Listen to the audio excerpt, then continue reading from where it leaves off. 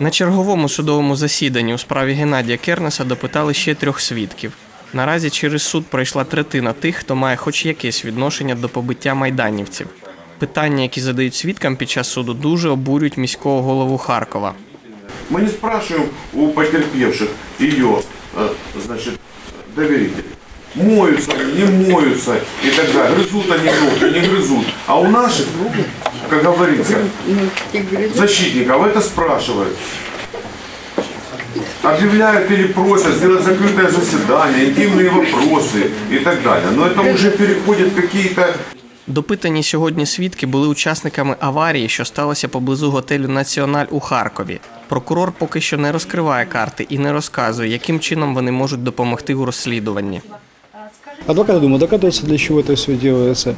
Э, Я думаю, будет э, тем, кто понимает, о чем будет суть, э, ясно, когда будет допрошен сам непосредственно водитель данного автомобиля. Много прояснится.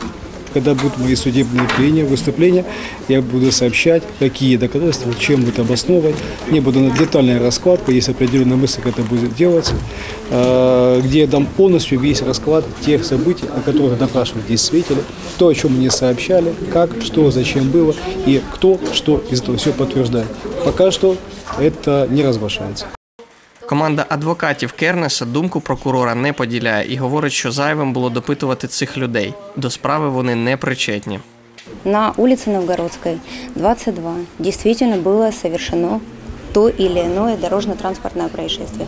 Однако, каким образом дорожно-транспортное происшествие по указанному адресу относится к рассмотрению нашего дела вот в суде, нам неизвестно. Я считаю, что в данном случае прокуратура использует такое понятие не как качество рас- э, расследования дела, а количество, наполняемость э, ну, просто теми или иными бумагами материала дела. Наступне засідання Київського районного суду призначили на 4 квітня, хоча існує ймовірність, що засідання не відбудеться. Геннадій Кернес повідомив, що через стан здоров'я кожного тижня їздити до Полтави йому складно.